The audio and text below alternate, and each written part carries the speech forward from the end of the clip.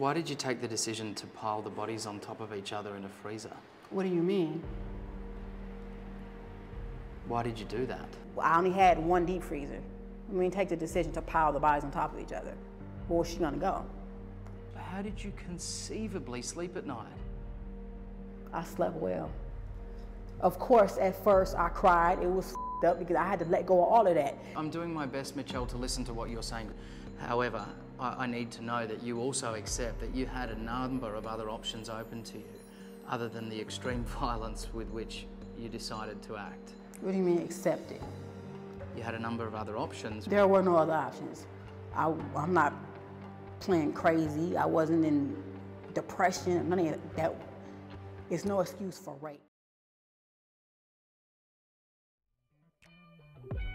Hello, everybody, and welcome to True Crime Banter, the podcast aimed at bringing you your dose of murder relaxation. So just sit back and enjoy.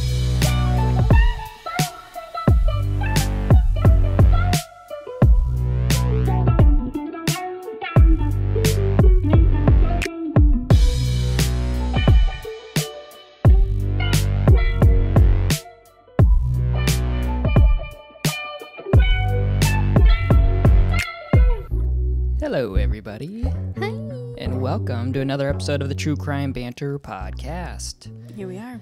A cast of little pods just for you and I. Great.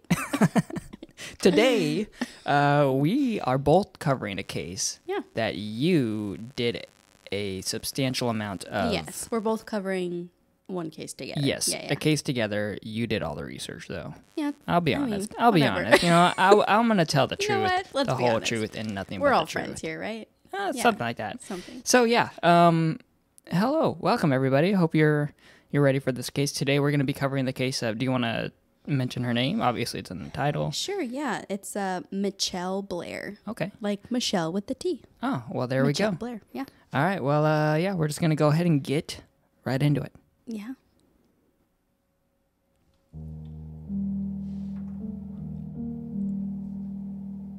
It's March 2015 when a crew from the 26th District Court showed up to the Detroit home of Mitchelle Blair.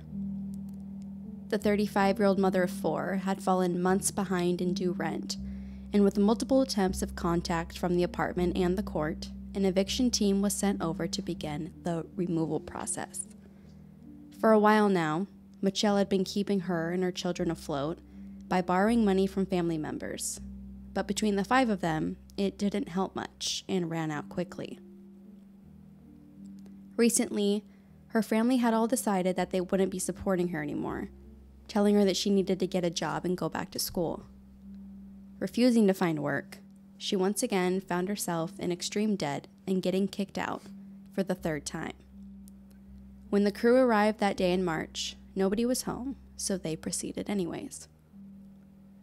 Load by load, the team members started emptying the home. When the crew approached a deep freezer, oddly kept in the living room, they opened it up. As one would, they expected to find the normal contents of a freezer ready to be emptied out. But instead, what they find is a young girl's body, wrapped in plastic, laid inside. Quickly pulling themselves together, they call the police.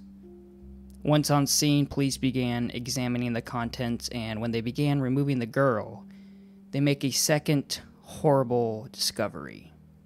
Another child laid under her. Again, wrapped in plastic, but this time, an even younger boy.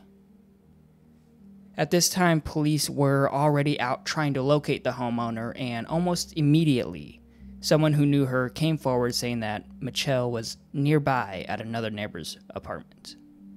She was found with two of her four kids, aged 8 and 17, but her other two, 9 year old Stephen Berry and 13 year old daughter Stoni Blair, were nowhere to be found. When being escorted to a police car, Mitchelle was quoted simply saying, I'm sorry. While she was on her way to the station, the unidentified children's bodies were being transported to the morgue where they had to thaw for three days until a proper examination could be performed. Once completed, it was confirmed. Mitchelle's other two children, Stephen and Stoni, had been found. To everyone's surprise, the coroner estimated that they had been in that freezer for almost three years. Detectives not only needed to find out both how and why they ended up in the freezer, but also how two children had gone unseen for three years and nobody noticed. This is where a very calm and forthcoming Mitchelle tells Detective Diaz in her own words what happened. This would later be used as Mitchelle's defense. She said it started back in 2012. She was at home when her youngest son, Jack, started playing with dolls in a very sexually suggestive manner. Alarmed, she asked him, Why are you doing that? Did anybody ever do this to you? He first denied it, but when pressed again, said yes. When asked by who, he said his brother Stephen. Of course, in shock, she took Jack upstairs to confront Stephen about this. Stephen denied it over and over. Mitchelle, believing there was no reason for Jack to be making this up, left the room and sat on the ground, not sure how to feel or what to think. She couldn't believe her own child would do this to their sibling. This is where she decided Stephen needed to pay for what he had done. This is where we're going to insert a graphic warning for everyone. She came back in the room and started punching eight year old Stephen. It isn't until this assault that Stephen admits to harming Jack. She then proceeded to put a bag over his head, making him lose consciousness multiple times.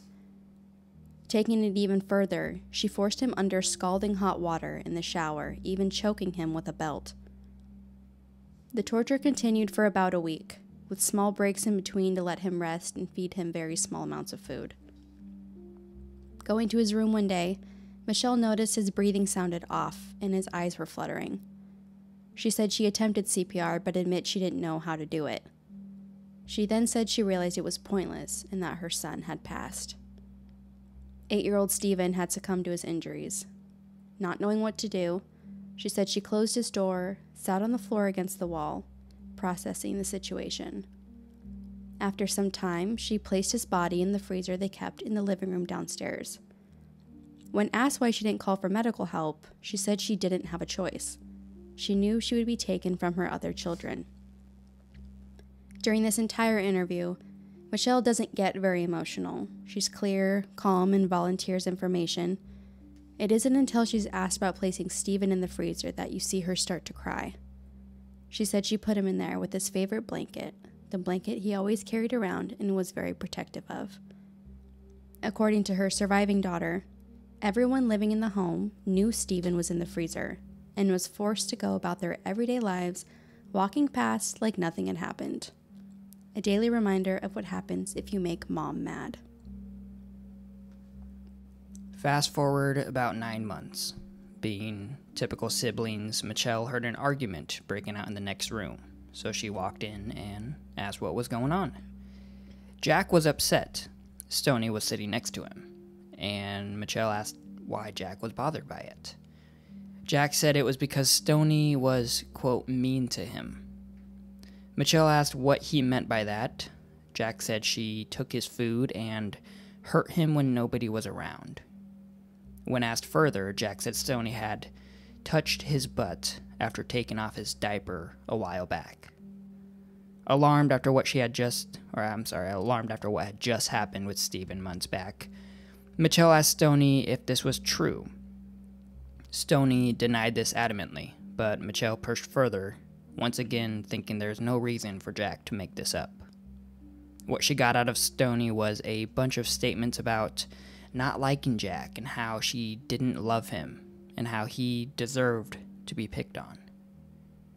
She then got more aggressive with Stoni, wanting more clear cut answers, so she pushed her against a wall and asked again. Stoni again denies the claims, and Mitchelle picks up what she described as a blue wooden rod nearby and starts hitting Stoni in the head with it. Again, it isn't until an assault happens that the child confesses to something happening. Mitchelle then starts punching Stoni and repeatedly choking and kicking her. This goes on for a while, and then Stoni is put in her room where she stayed for two days with minimal food and no interaction. Unlike Stephen, Stoni's torture went on for almost two weeks.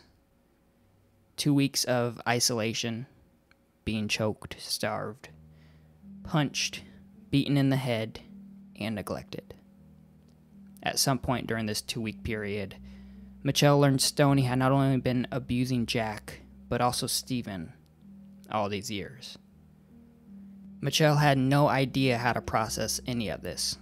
She was disgusted and tormented with the thought that all this time, under her own roof, two of her children were getting away with such heinous acts. Overcome with anger, Mitchelle started punching Stoni, and in the midst of this, Stoni actually hit her back, something she had never done before. Panicked at what she had just done, Stoni said it was a reflex, and Mitchelle says this is when she decided to smother Stoni. After it was over, Stoni was placed on top of Stephen in the freezer, and that is where they both laid for nearly three years until that day in March of 2015. Now, at this point, we have no idea if what Mitchelle is saying is true, but during the interview, she came off very truthful, even if it was her version of the truth. Right. There weren't long pauses where you could tell she was trying to think of stuff to say. She explained things multiple times when asked with no issues at all. She was never aggressive with the interviewer. She was just like calmly telling a story, even if it was a super fucked up story. She admits multiple times that what she did was wrong, but she was protecting Jack, and she doesn't regret that at all. Many times, she paints herself as Jack's hero, and that she felt she did her duty as a mother, even if that meant harming her other kids in the process. While Mitchelle might have felt justified and that she had good reason for these actions, the information coming in from others didn't quite match. When examined by a psychologist and a physician, the two surviving children admit there was a long history of abuse in the home. It was normal for them to get beaten on a regular basis for any number of things perceived as wrong. When examined, they each had marks and scars all over them from being hit over a long period of time. During her interview, Mitchelle admits that her discipline methods were too much for children and that she has always struggled with how to properly handle her kids. Not only was there physical abuse going on, but when you look at police photos of their apartment after the bodies were found, it's an absolute mess. It's hard to imagine four kids, at one point, were being kept in the home in this condition. With so much regular abuse going on, you may wonder, like I did and many others, how nobody noticed marks on the kids or how nobody noticed that two kids were missing for almost three years. Yeah. The biggest contributing factor was isolation. All the children had been pulled out of school years back. At the time, in the state of Michigan, it was not legally required for parents to prove their children were enrolled in any type of school. At one point, Mitchelle had met with the principal, lying, and saying that she was moving out of state with her brother and taking the children with. When the state reached out for school enrollment, Mitchelle let them know she was going to be homeschooling them from now on. Not true. Once again, legally, there was no obligation on either end to confirm how and where the kids were being schooled. Whether Mitchelle didn't want the burden of pickups and drop offs or having to help with homework, it's not really stated why the children were pulled out. Possibly a control thing. She can keep an eye on all of them if they were always at home with her. Yeah, not only were the children kept from outsiders, they were also kept from family. Mitchelle's four children were fathered by different men, and from the reports, uh, it looks like two of them were from one father and then the other two from a separate father. Both fathers were said to be not involved in their children's lives, occasionally popping in and out or giving minimal child support payments randomly throughout the years. One of the fathers was also in prison for a good chunk of the children's lives, making it even easier to not see his kids when the fathers would inquire about where their kids were. They said that Mitchelle always had some answer ready. They were either staying with an auntie out of town or with her brother and his children. And that's as far as the questions went, uh, uh, you know, apparently. Put this all together, and it's no wonder that Mitchelle got away with not only abuse, but a double homicide for years. By the time Mitchelle was assessed and deemed fit for trial, her team had put together what they could. During proceedings, it came out that Mitchelle had a very rough upbringing herself, and that this may have played the biggest part in the crimes that she had committed.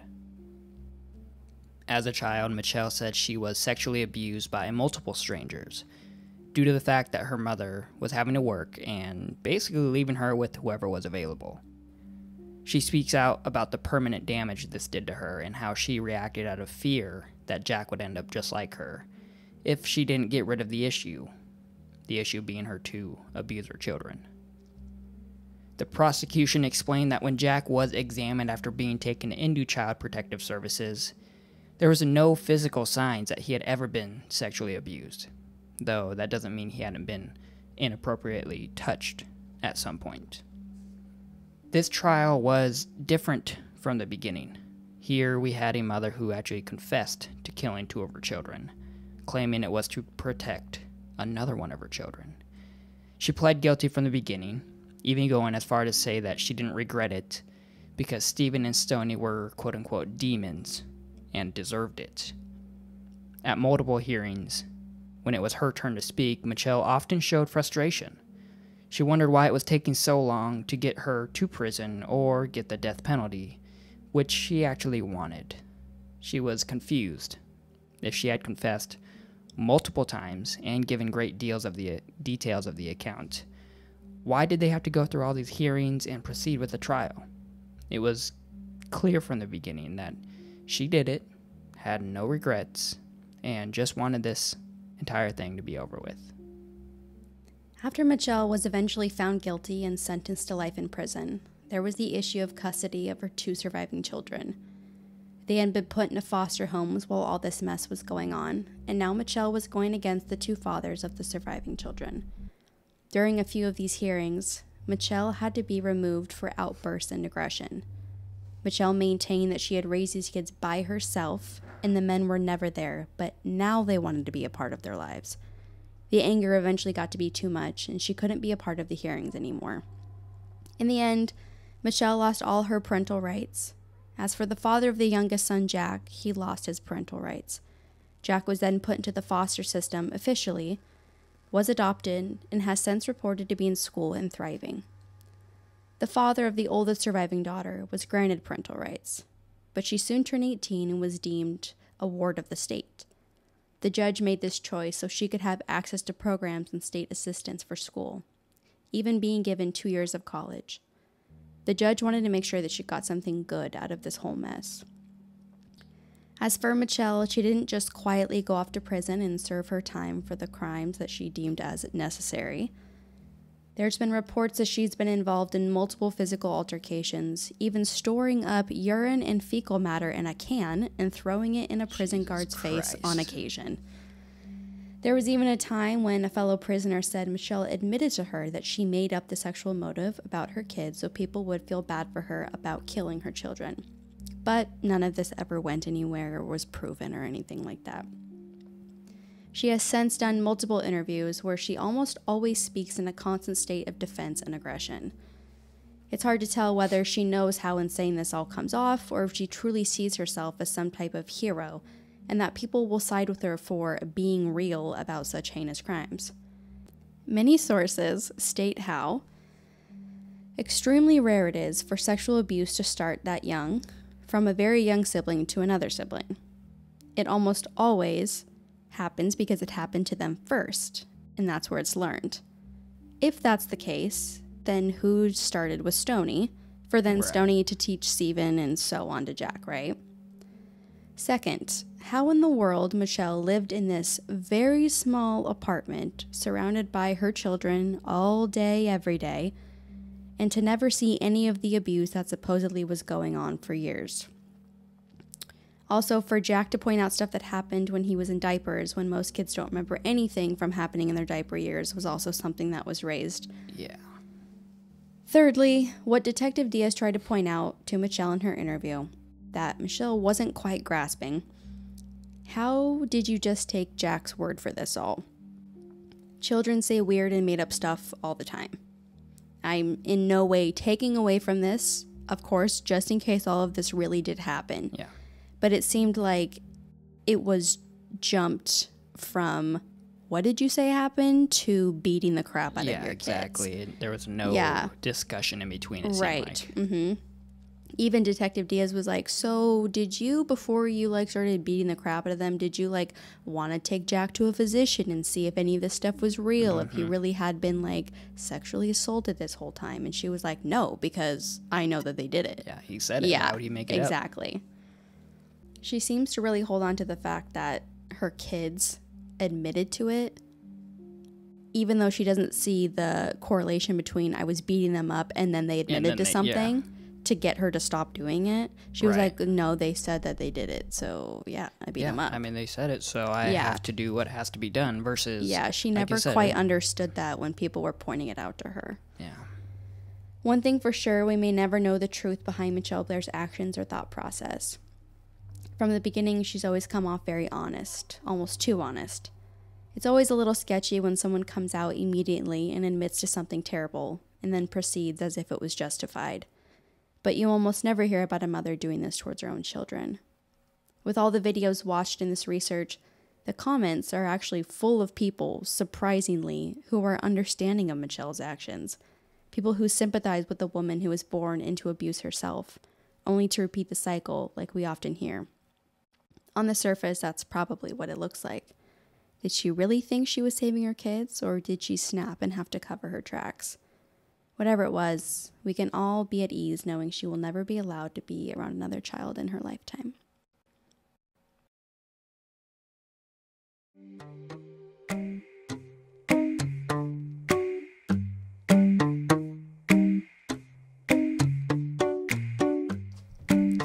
I would love to know your thoughts on this well, and everyone else, but you Yeah. first because you're right here. right.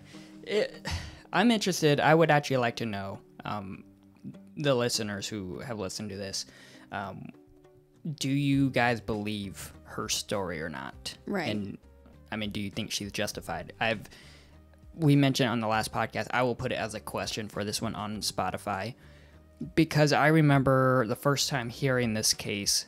There is a moment when she starts discussing her reasoning for this about, uh, well, you know, I found out that they were being abusive towards Jack Yeah. and thus I came from that home and I don't want that happening to him and basically like rage quote unquote justified rage Right. in my head mm-hmm. is a moment where you're like and like you just mentioned you're like oh like uh, she is doing it out of what she thinks is the good of her heart what she thinks i think it gets lost in the story that she we actually mentioned it she had to be deemed fit for trial Right. because i think Like she mentally stable, probably right? yes is unstable Yeah. and the trauma that she not not to her own fault. Yeah. i mean i i think she faced trauma in her childhood that is uh definitely affecting the way she approaches all of her life now Yeah.